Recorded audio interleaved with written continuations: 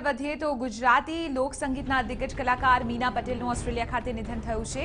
મીના પટેલ લોક ડાયરાના જાણીતા કલાકાર હતા અને ત્રીસથી પાંત્રીસ વર્ષથી તેઓ લોકસંગીતની સેવા કરતા હતા. છપ્પન વર્ષના મીના પટેલ અમરેલી જિલ્લાના વતની હતા. લોક ડાયરા ઉપરાંત તેમણે અનેક ગુજરાતી ફિલ્મોમાં પણ પાર્શ્વ ગાયિકા તરીકે લોકચાહના મેળવી હતી.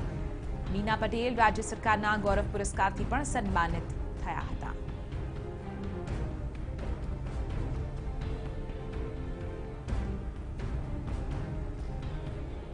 તો હાલ આપણે જણાવી દઈએ કે અમારી સાથે ફોન લાઈન ઉપર જોડાઈ ચૂક્યા છે લોક સંગીતકાર અને લોક ગાયક એવા અભયસિંહ રાઠોડ.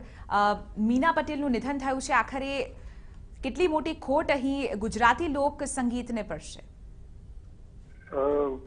મીનાબેનના જવાથી એક મધુર ગાયકીના માલિકને ગુમાવ્યા છે ગુજરાતે.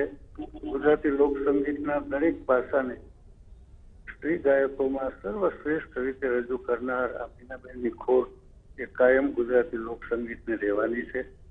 મીનાબેને અનેક વખત અમારી સાથેના કાર્યક્રમોમાં અહીંયા દેશમાં તો કર્યા જ છે પણ વિદેશમાં અમેરિકા કેનેડા ઇંગ્લેન્ડ વારંવાર અમારી સાથે કાર્યક્રમમાં આવતા હતા.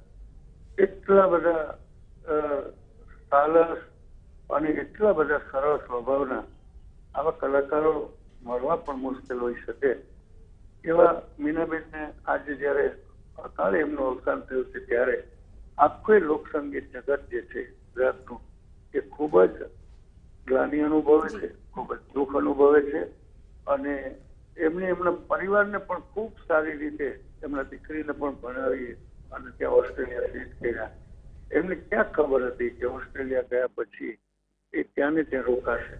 અહીંયા બધા જ કલાકારો રાહ જોતા હોય.